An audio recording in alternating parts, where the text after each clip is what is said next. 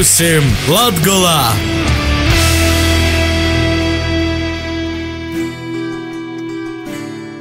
Vasali pie mums Latvijā, kā jau vīrus citamā laikā, jūsu radiostvērējus savu skaņojumu sots producentu grupas lītišķo Latviju veidotīs radioraidījums pie mums Latvijā. Ir jūs kopā esmu Astenis Bikovskis. I šodien jūs iepazīstinošu ar jaunom saimus deputātiem, kuras pavisam nesen ir sokušas darbu itamā 12. saimā.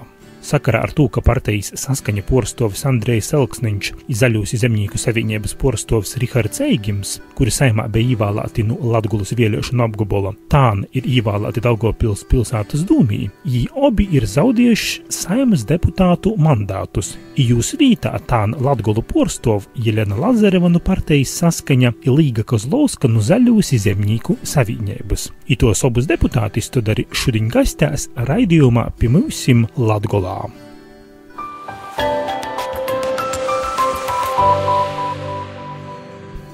Jelena Lazareva ir dzimusi 1972. gadā, ieguvusi maģistra grādu uzņēmējdarbības ekonomikā, izdzīvoja Reigā. Jau vairākus gadus iestrādāja ģimenes uzņēmumā Ilģucīms, kurīs nozadarboja ar Baltkrievijas būvmateriālu tirdzniecību, pildot tī grāmatvedis finanšu direktoris Omotus. Jelena Lazareva ir arī Baltkrievu savienības un citu Baltkrievu biedrību Latvijā porstove. Jai ir strodojusi arī iepriekšējos saimas sasaukumā. Vārojam, vaicājam, vērtējam! Lazarevas kundze, dēļ ko jūs nolēmat kandidēt saimas vēlēšanos īt politikā? Es piedalījos uh, arī 11. saimas vēlēšanās un bija 11. saimas deputāte, uh, bet uh, piedalījos 12. saimas vēlēšanās. Kāpēc es nolēmu? Šajā amatā man būs vairāk iespējas uh, realizēt savas domās un uh, varbūt uh, savas zināšanas izmantot uh, likumos izstrādāšanas momentā, piedāvāt kādu jautājumu risinājumus. Es ļoti e, cieši sadarbojos e, ar Baltkrievu diasporu. Gribu teikt, ka Latgalē strādā un darbojas deviņi Baltkrievu biedrības. Ļoti aktīvi, un pirmkārt, es domāju, ka vispār uh, Latvijas-Baltkrievijas sadarbība ir ļoti labs, uh, nu, labs attīstības virziens gan Latgales reģionam, gan pierobežas Baltkrievijas reģioniem. Ja jūs par to Baltkrieviju tagad sakat, tad jums ir saistība ar Baltkrieviju? Es saistītu ar savām saknēm. Esmu etniska Baltkrievite, un, bet dzīvoju Latvijā. Bet nu, ļoti mana uh, sabiedriska darbība ļoti cieši saistītā ar kultūrdarbību, tieši ma ar mazākumtautībām, Es strādāju konsultatīva komiteja mūsu Latvijas kultūra ministrē, un es uzskatu, ka kultūra nu, patiešām apvieno cilvēkus un apvieno paudzes, un es domāju, tas ir avots, no kuram var sakt sadarbību jebkura jomā. Un, ja var tā teikt, ka e, kultūra, politika un ekonomika vienas ķēdes posmās, jā, Jūs esat ievēlēta saimā, šobrīd strādājat um, Andrē Luksniņa vītā, porstovot um, Latgulas vēlētos, cilvēki no Latgulas par jums balso. Um, kas ir tas, ko jūs gribat izdarīt saimā uh, Latgulas labā, Latgulas vēlētoju labā? Pirmkārt, es uh, gribu pievērst uzmanību un astēt visu likumu, uh, likumu izmaiņas saistītas ar darbā vietu radīšanu. Uh, nodarbinātība tas ir galvenais uh, reģionātistības kritērijs ļoti svārīgi investīciju piesaistīšanā, bet uh, tas ir atkarīgs uh, vairāk no Latgales planošanas reģiona un pašvaldību darbībām. Nu, gribu pievērst uzmanību, piemēram, Rezeknē veiksmīgi realizēja ierā fondu programmu degradēt teritoriju revitalizācija un uh, programmas potenciāli 265 miljonu visiem Latvijas pašvaldībām, un Latgalē arī var to izmantot. Un ja mēs uh, darbojāmies ar degradētu teritoriju un to gatavojam uzņēmējiem, lai ar infrastruktūru, ar etībām, lai viņi to var taisīt savu darbību. Tas ir arī moments, kura rezultāta būs jauna darba vieta. Nu, mēs runājam par, par strīdam, piemēram, Daugapils doma, bet ļoti svarīgi, lai domas strāda, jebkura pašvaldība strāda stabili, tad ir arī kritērijs, attīstības kritērijs, un tā labāk var piesaistīt tie investīcijas un realizēt jebkuru projektu. Šie jautājumi, kurus jūs strādājot saimā, gribat aktualizēt? Jūs zināt, kad es runāju, bija uh, pagājuša saimā budžeta apspriešana, es piedāvāju ielikt uh, trīs gadu budžetā. Ir, nu, piemēram, sistēma ir tādā, ka mēs strādājam par nākamgada budžeta un apstiprinājam arī plānu uz trim gadiem. Uh, bet es piedāvāju ielikt tādu trīs gadus it kā plānošanas budžeta kritērijs palielināt uh, darba vietu skaitu uh, likumā pamāta, tā likumā. Bet bija paskaidrojums, ka tas ir nav uh, likuma līmeņa jautājums, tā ir kabineta līmeņa, uh, ministru kabineta līmeņa darbs. Bet, ja, vat, jūs ziniet, ja nav nekāda kritērija, tad uh, nodarbinātība uh, palika tāda radītājs ļoti grūti kontrolēt un uzraudzīt. Jā, kā ir, tā ir. Jūs esat strādājis arī 11. saimā, kā saimnes deputāta visu sasaukumu. Ko izdevās varbūt panākt? Kas ir tas, par ko vislielākais prieks, ko varbūt izdevās jau saimā izdarīt, varbūt arī Latgulas lobā? Ja ziniet, likumā līmeņā ļoti grūti teikt tieši Latgalī kaut kādas uh, priekšrocības, jā, bet Tagad uh, es gribu teikt, ka bija reģionāla ministrijā realizē dažādu projektu, lai atbalstītu Latgales reģionu. Bija projektu sadalījums, Eiropas eh, fondu sadalījums, priekšrocība bija Latgalei. Nu, tā notiek ne likuma līmeņā, bet apspriešanas komisijas laikā, un rezultāti to realizē ministru kabinets tad es domāju, ka nu, tieši teikt, ka 11. saimē bija kaut ko izdarīt, bija ļoti svarīgi dot virzieni. Lai attīstītu Latvijas reģionu, bija ļoti aktīva reģionāla pārtie. Es domāju, ka Latvijā vairāk bija uzmanība nekā agrāk Es par to pārliecināta, par to runā da, nu, daži cilvēki, kā beidzot mēs vispār runājam par Latgali kā reģionu, kura Latvijas sastāvā. Nevis kaut kur tālāk, bet mēs esam visi kopā, mums visiem kopā jātesties un kusties uz priekšu. Par attīstību runājot, kas jūsuprāt ir jodara, attīstītu Latgulas uh, laukus, tos pīrūbežus nūvodus, arī mozūs nūvodus? Pirmkārt, ļoti svarīga pierobežas sadarbība. Es gribu teikt, ka pirmkārt ar mūsu kaimiņiem, ja mēs runājam par Baltkrieviju, tas var būt sadarbība sadraudzības pilsētas līmeņā, ne tikai no valsts puses, no starp pilsētām.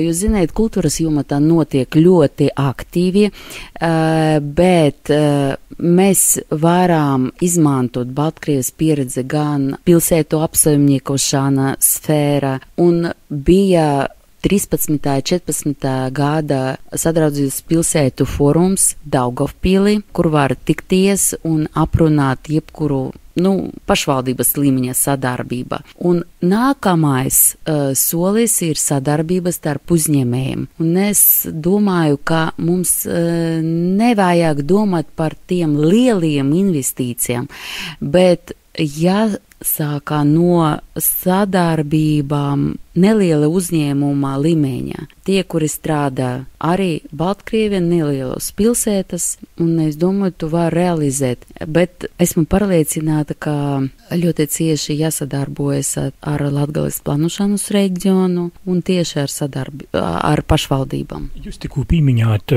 plānošanas reģionu un arī uzņēmējus. Šobrīd ir panākta tāda līte, ka Latgales speciālos ekonomiskos zonas izveida. Jā, ir likums par uh, par Latgales sēs, atkal katrā pašvaldībai ir iespēja to izmantot. Nu, mēs zinām, kā novādos izmanto šo likumu. Es nedzirdēju veiksmīgu projektu realizēšanu. Es Varbūt es uh, kļūdājos, bet uh, es zinu, kā strādā Rezeknē, uh, sēs, jā, bet pilsētā nodrošina šo vietu ar nepieciešamu infrastruktūru un uh, viņi paši piesaistā uzņēmējus un investorus strādāt šajā zonā. Tas es dūs kaut ko latgulē vai tomēr jūs te skeptiski? Jūs zināt, ko nozīmē būt par saimnieku, jā? Ja? Viss atkarīgs no mums pašiem. Ja mēs gaidīsim no kam, no pusēs, Uh, neko nebūs. Uh, bet, ja mēs runājam vispār par to, tas ir iespēja. Ja? Mēs varam to iespēju realizēt, varam nerealizēt.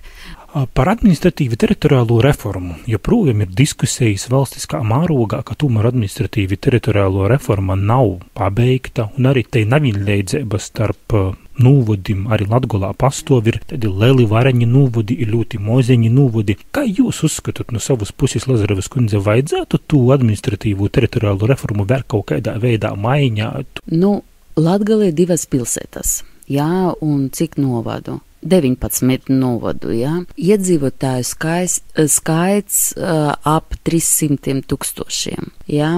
Un uh, cik pašvaldību mums vajag? Ļoti grūti teikt jebkuram pašvaldībam ir likuma pamata iespēja apvienoties. Jautājums par to, to ir izdevīgi vai nē, bet iespēja tāda ir, tagad jau ir. Ja mēs runājam par vispār reformu, ja saricina izdevīgi vai neizdevīgi, nepieciešams pētējums, lai novērtētu pašvaldību darbību. Es domāju, jārunā par citu, piemēram, izveidot attīstības centrus, kur mēs varam runāt ne tikai par pašvaldību funkcijām, jā, kuri nodrošina no ar bērnu dārziem, ar skolām, ar poliklīnikiem un tā tālāk, bet izveidot attīstības centrus, nu, galvenokārt ir, nu, būs ne, ne katrā novadā, varbūt rētāk, uh, bet tie koncentrēties, viņiem koncentrēties fokusēties uz projektiem, investoru piesaistīšanu un uzņēmēju darbību, attīstību un ar darba vietu. Uh, bet, kad tu vari realizēt reāli un vai darbosies vai nē, uh, nu, tas arī atkarīgs no mums. Bet es domāju, nu, pašvaldība strādā un es domāju, uz vietas viņi efektīvāk strādāja nekā, ja mēs apvienojam. Runājot par latgalīšu valodu, kā viesturisku latviešu valodas paveidu, tagad arī tikko, ka maija sākumā bija Latgulas simtgadis kongress, kur daudzi Latgulas aktīvisti runāja par tom valodas problēmām, ka latgalīšu uh, valodu namoca skolos, ka valoda un latgalīšu kultūra ir lamta īspējams iznīcībai. Kāds jūsu viedoklis par latgalīšu valodu? Es pārliecināta, Esmu pilnīgi pārliecināta, ka latgales valodām jābūt uh, ne dialekta status, bet valodas status. Par to jārunā, bet tas ir, nu, tīri politiskais jautājums. Un pirmkārt, eh, to jāuzdot jautājumu tieši latgaliešiem, tāpēc, ja viņiem būs tā pārliecība un eh, spēkus aizstāvēt to, tad es domāju, tu vari realizēt. Uh, Latvijā sākas no Latgales, visi zina. Un uh, uh, sanāca tā, kā piemēram uh, mazākumtautību valodām ir status, ļauj izmantot skolas to valodu. Mums ir krievu, poļu, baltkrievu skolas, bet mēs nevaram atvērt latgaliešu skolu it kā nav tāda valoda. Bet uh, la, es zinu, latgalē, latgaliešu valoda cilvēki izmanto, runā, un uh, katru gadu es redzu jaunus grāmatus parādās. Tas ir ļoti, ļoti labi, un um, tu vari turpināt, bet uh, valsts mērogā, es domāju, jābūt atbalsta, bet to atšķirīgi no politiskiem spēkiem, kuri to var nolēmt.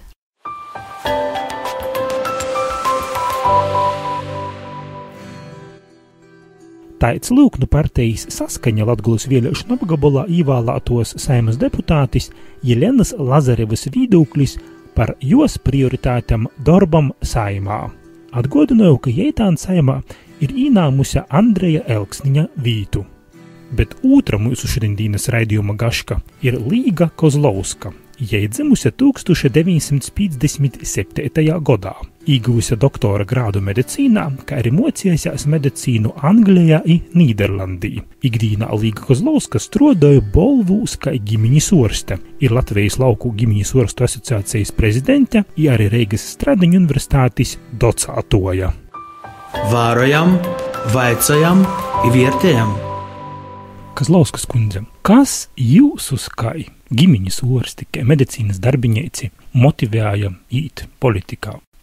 Zaļo un zemnieku savienībā es īstenībā iestājos tikai nesen. Tā ir iznācis, ka pa šo laiku man bija neliels laiks tikai pārdomām, lai pieņemtu lēmumu būt vai nebūt saimas deputāts, un tad es izdomāju, ka visu mūžu esmu bijusi ļoti aktīva, sākot jau no 90. gadiem, no tautas frontes laikiem, un tad es vienkārši, jā, pieņēmu lēmumu, ka es varētu varbūt kaut ko arī saviem e, cilvēkiem, savam novadam, savai latgalei, arī saviem visiem Latvijas iedzīvotājiem kaut ko labu izdarīt. Un es to izdomāju, ka es varbūt caur šo savu lēmumu e, mēģinātu izprast, vai tiešām tie politiķi ir tādi, par, par kādiem viņus, viņiem runā tauta, vai, e, vai viņi tiešām tomēr ir ļoti ietekmēti, vai arī tieši otrādīs, viens nav karotājs, bet karotāji ir veseli vesela komanda. Un, Tā kā tieši arī manā nozarē ir ļoti daudz problēmu e, veselības aprūpē,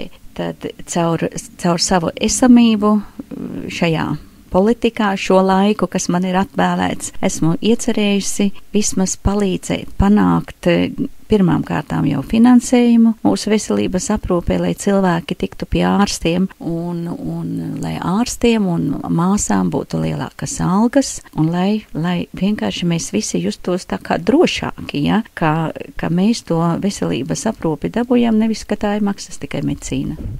Tad tomēr tie veselības joma, kurā jūs esat arī darbojusies eh, daudzus gadus, tomēr te, te ir te jūsu prioritāte. Jā, veselība ir mana prioritāte, arī sociālā eh, joma, un esmu arī vairāk kā 15 gadus strādājusi mm, eh, Latvijas pašvaldību savienībā kā sociālo un veselības lietu komitejas locekle, tā kā šie veselības sociālie jautājumi man, man ir vistuvākie, vistuvākie, kurus es tā kā saprotu un, un gribu, gribu palīdzēt ar savām zināšanām zināšanām arī saimā politiķiem pārliecināt, ka, piemēram, veselības aprūpes pieejamība tie pakalpojumi ir viena no svarīgākajiem. Jo vesela tauta, veselāki cilvēki, nu tā ir arī ekonomika. Ja viss kopā ir ļoti saistīts. Nu, un, un arī sociālajie jautājumi. Sociālajie jautājumi, cik mūsu um, cilvēki e, var ne tikai saņemt sociālajos pabalstos, ne tikai tā, bet kā caur sociālo drošību viņi pēc tam var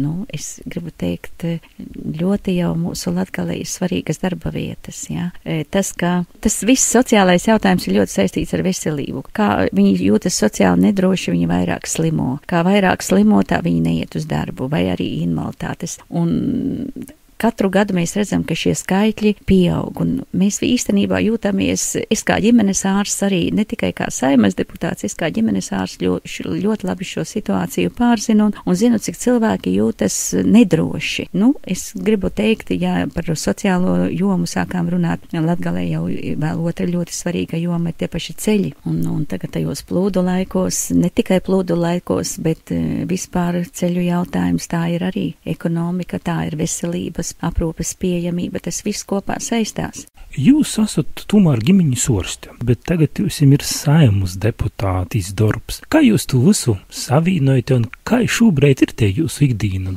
Saimas kārtības rullī ir tāds punkti, tādi likums, ja, kas atļauj tieši ārstam būt par saimas deputātu vai saimas deputātam strādāt ārsta darbu, arī būt par pedagogu un arī strādāt zinātnē. Ja? Un iznāk tā, ka praktiski visās trijās daļās es arī vēl papildus tātad to daru. Saimas deputācija otrdien, trešdien, ceturtdien pilnas dienas, ja kad strādāju un vakaros lasu likumus un tikšanās organizēju un ļoti daudz darba. Pirmdienās un piekdienās pilnas dienas pa desmit stundām es pieņemu pacientus, Vakar pusēs vēl ar studentiem, rezidentiem strādāju. Sesdien arī man ir vai nu zinātne vai, vai, vai, vai studenti, un, un svētdiena man ir brīvdiena pagaidām. Un tad es atkal no rīta agri agri braucu no balviem, jā, tad jau deviņos man ir parasti sākums, citreiz jau 8.30. Tā gara diena, eju ļoti vēlu gulēt, un atkal,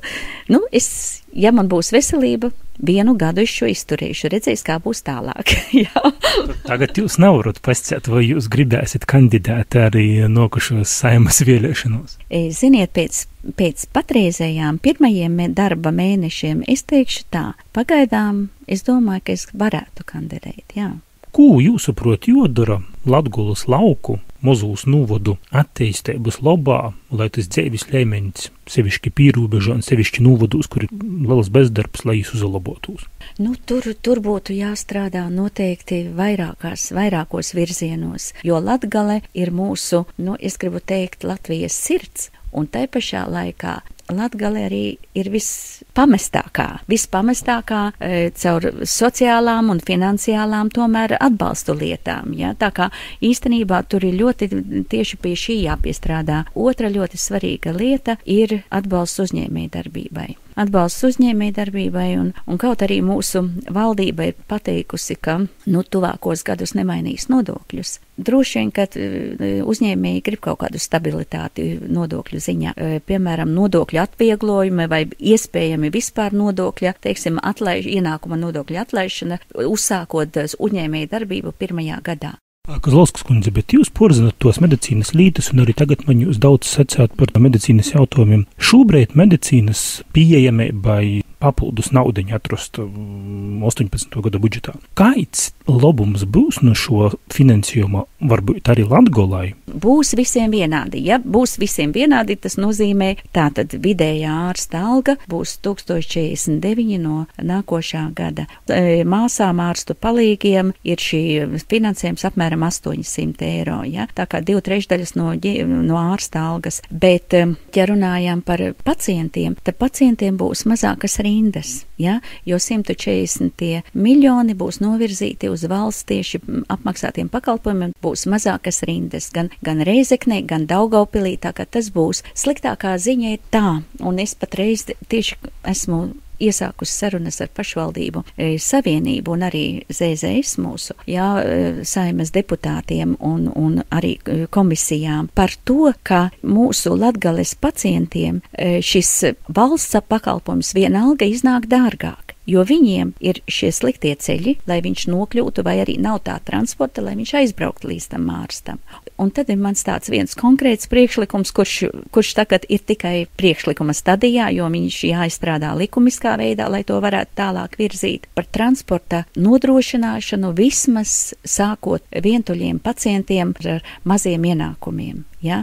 Jo pašvaldībā šādi pacienti, šādi cilvēki ir apzināti, un, un vismaz šie cilvēki, lai vismaz vienreiz vai divreiz gadā varētu nokļūt līdz e, ar pašvaldības atbalstu līdz ģimenes ārstam vai slimnīcai. Par citiem jautājumiem runājot. Um Šobrīd uh, politiski nav vēl pabeigts uh, jautājums par administratīvi teritoriālo reformu. Tagad novadi, bija pirms tam rajoni, un tomēr vērtēji politisko diskusiju turpinājās, ka administratīvo reforma būtu varbūt jāveidoja savādāk, varbūt novadu vajadzētu mozog. Kāds personīgi jūsu viedoklis par um, teritoriālo reformu, un vai vajadzētu vēl būt tādai teritoriālās reformas noslēdzošajai fāzei? Nu, es pati, pati esmu valsts pārvaldes un pašvaldību lietu komisijā. Tieši saimā, tieši tā komisija, kas ar šo reformu, var teikt, galvenā, kas darbo, darbojās un darbosies līdz galam. Mans personiskais viedoklis ir noteikti tāds, ka reformai ir jābūt brīvprātīgai noteikti jābūt brīvprātīgai, un tā nevar būt piespiedu kārtā. Ja maza pašvaldība, kā novads, novada pašvaldība var pati arī mazu, ar mazu iedzīvotāju skaitu izdzīvot, nu, izdzīvot eh, finansiāli, eh, uzņēmēja darbības ziņā, sociālās visas lietas atrisināt tādā gadījumā, lai viņa to dara. Un viena iemesla pēc, tādēļ, ka arī citās Eiropas attīstītajās valstīs e, mazās novadu pašvaldības izdzīvo ar saviem, nu, jāsaka, mērķiem, ar saviem resursiem, un, un kādēļ viņi negrib mainīt šo statusu? Tādēļ, ka, ja tu esi galvenais savā karaļvalstī, tu savu karaļvalsti attīsti un veicini viņa viņas izaugsmi un attīstību. Bet eh, runājot par ekonomiku, eh, ir pieņemts Latgulas speciālos ekonomiskos zonas likums, kas atvieglotu uzņēmējiem darbu, nodokļu būtu mazāk. Jūs saprotat, nu, šis Latgulas sēz likums, viņš dūs eh, savu efektu. Tas ir, ir aizkavēts gan ir aizkavēts. Un, un es zinu, ka daudzi, daudzi mani arī balvenieši ir aizbraukuši projām, e, nu, arī tādēļ, ka viņam nav bijusi tā iespēja attīstīt uzņēmēju darbību uz vietas, un ir droši vien, ka visi arī saprot, kas ir par viens par iemeslu, e, kādēļ, piemēram, uzņēmēju darbību attīstīt e, Latgalē ir daudz grūtāk. Tādēļ, ka, lai dabūtu vienalga, kurai precei noietu, ir pirmām kārtām ir tas attālums jāpārvar. Skaidrs, ka tam likumam bija jau jābūt desmit gadus agrāk, un, un, un, un arī tagad iesākot, tāpat tas būs ļoti grūti.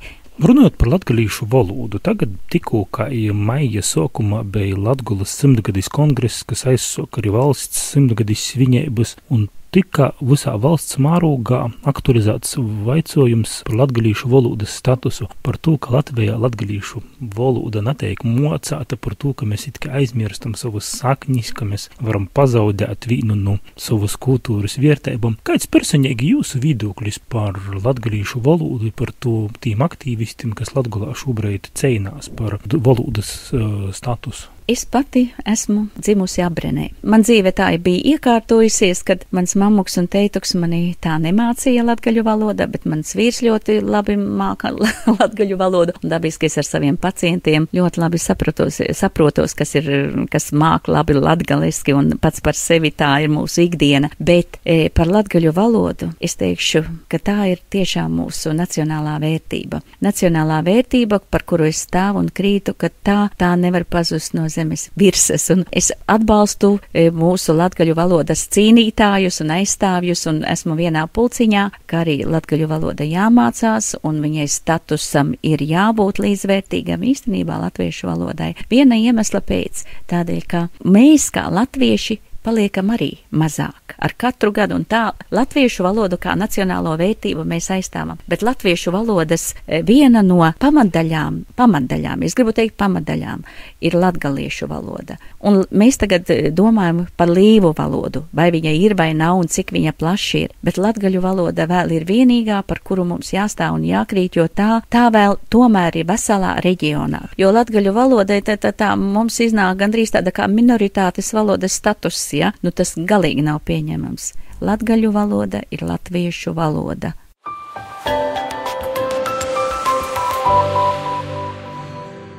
Paldies par sarunu šodien saku saimas deputātiem Jelenai Lazarevai un Līgai Kozlovskai.